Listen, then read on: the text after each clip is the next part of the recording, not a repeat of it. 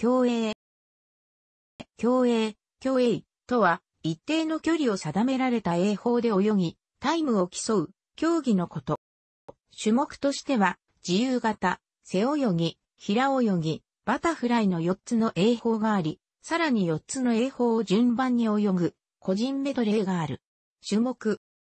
一般的に8レーンからなる50メートルの長水路、または25メートルの淡水路のプールで行われる。競泳は近代オリンピック、夏季オリンピック第1回大会からの正式競技でもある。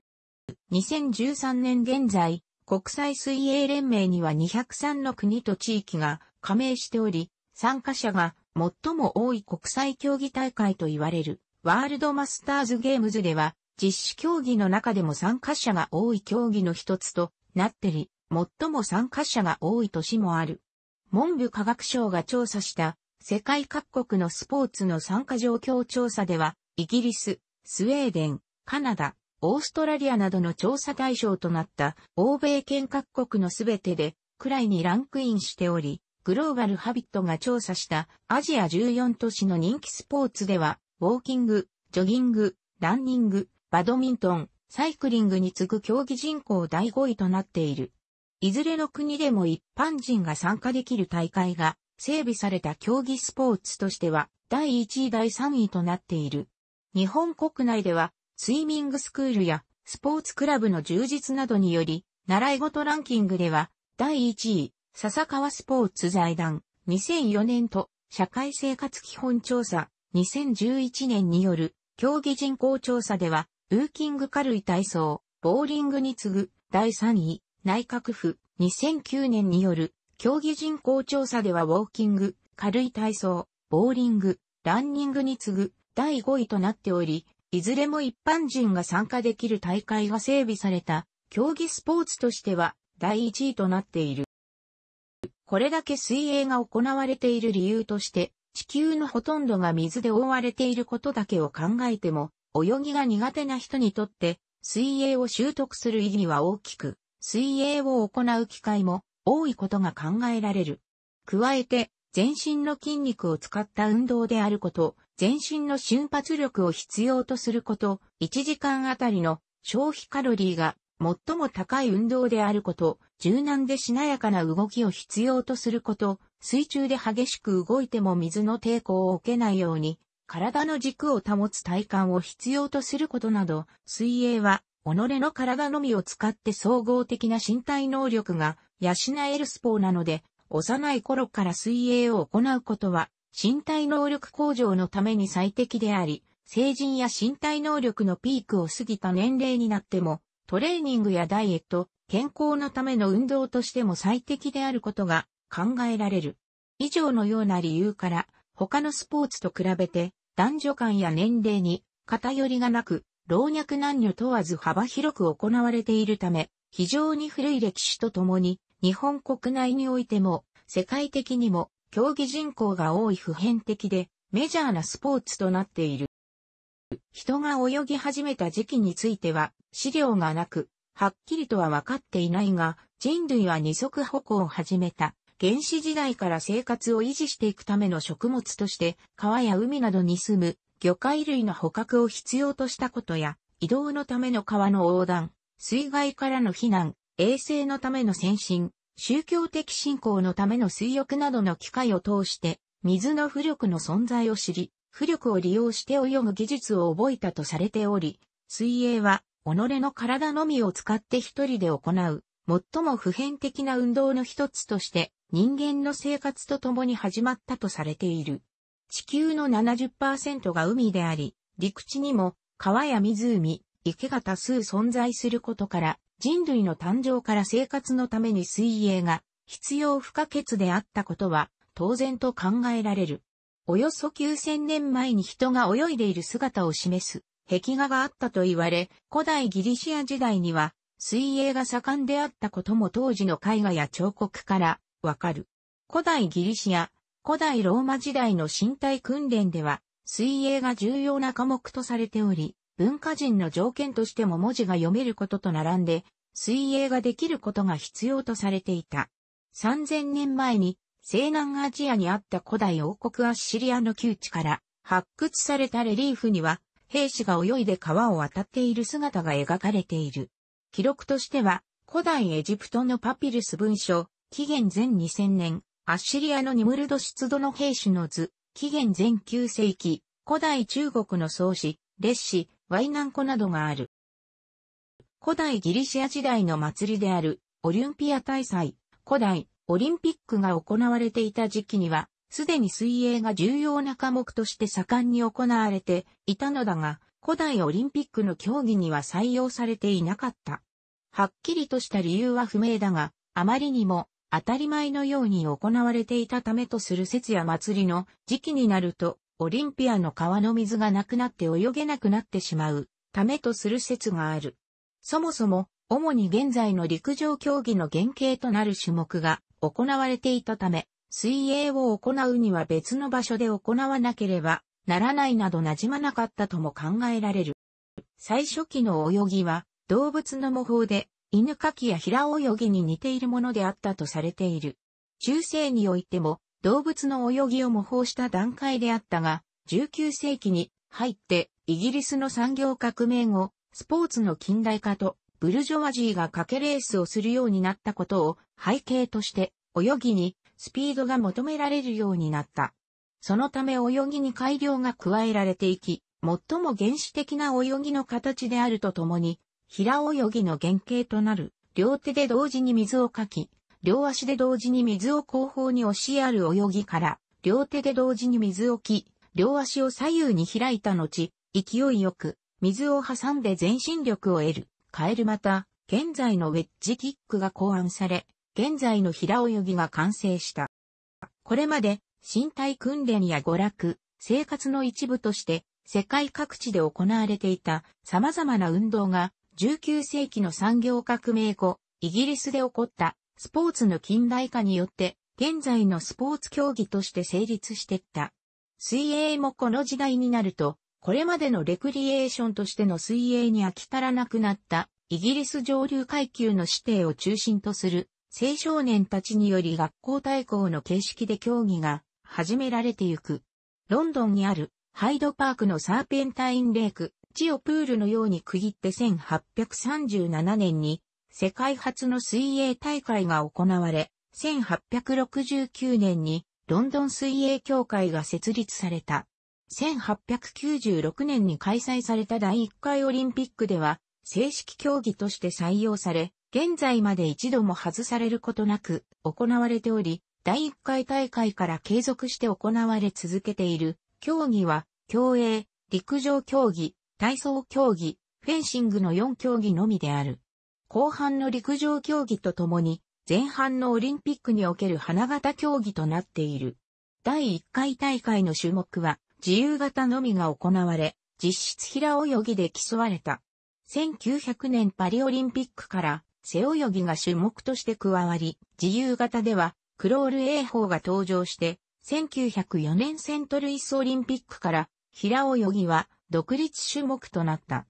1952年ヘルシンキオリンピックでは平泳ぎにおいて多数の選手がバタフライの手の書きを用いるようになり、1956年メルボルンオリンピックからバタフライが独立種目となった。距離は当初、ヤード、またはマイルとしても実施されていたが、徐々に種目の整理がなされ、1908年ロンドンオリンピックからはメートルのみの実施となっている。また、同年、このロンドンオリンピックがきっかけとなって国際水泳連盟 FINA が設立された。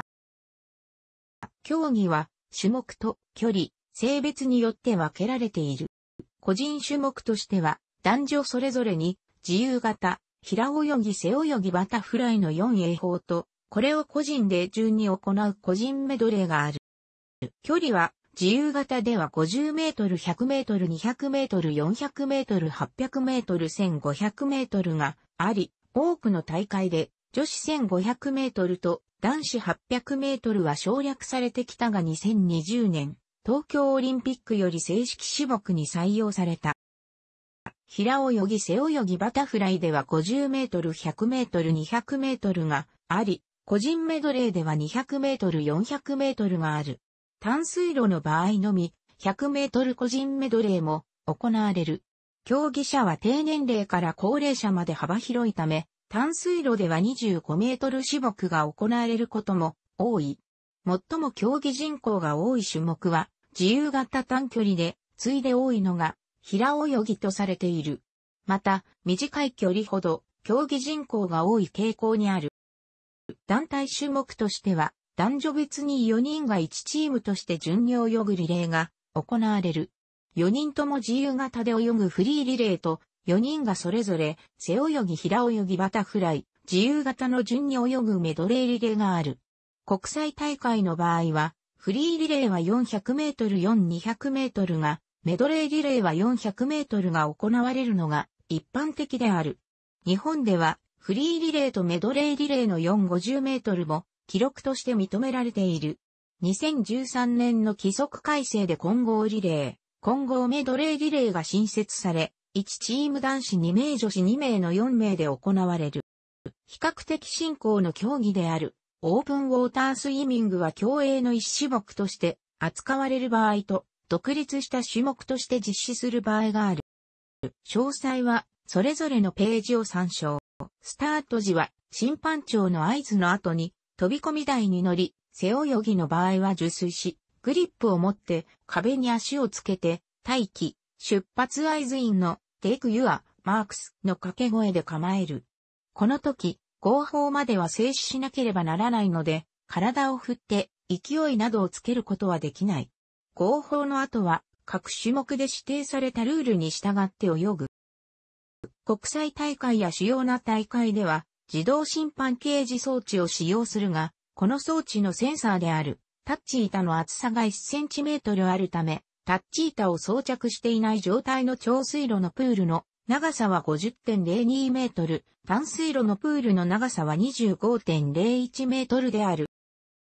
国際水連一般規則 GR では第5条で服装、スイムウェアとして以下の通り規定している。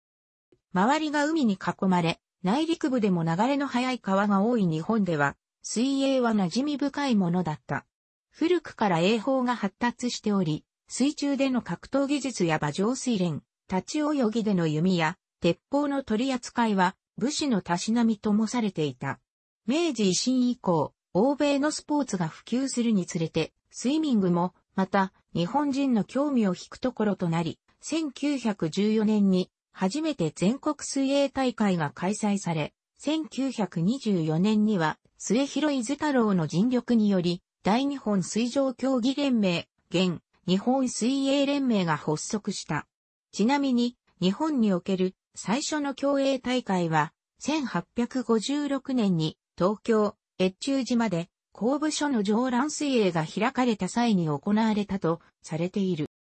1930年代から1940年代にかけては世界ナンバー1の実力を誇り、競泳は日本のお家芸と呼ばれた。オリンピックでは1932年ロサンゼルスオリンピックで男子全6種目中5種目で金メダルを獲得。100メートル背泳ぎでは金銀銅メダルを独占した。次の1936年ベルリンオリンピックでもライバルのアメリカ合衆国を圧倒した。1940年から第二次世界大戦や太平洋戦争の勃発によりオリンピックが中断。1948年ロンドンオリンピックに日本は出場できず世界から敗戦国日本の実力を疑われていたが、1949年の全米選手権に日本選手団が参加し、世界記録を連発。戦前からの力が衰えていないことを示した。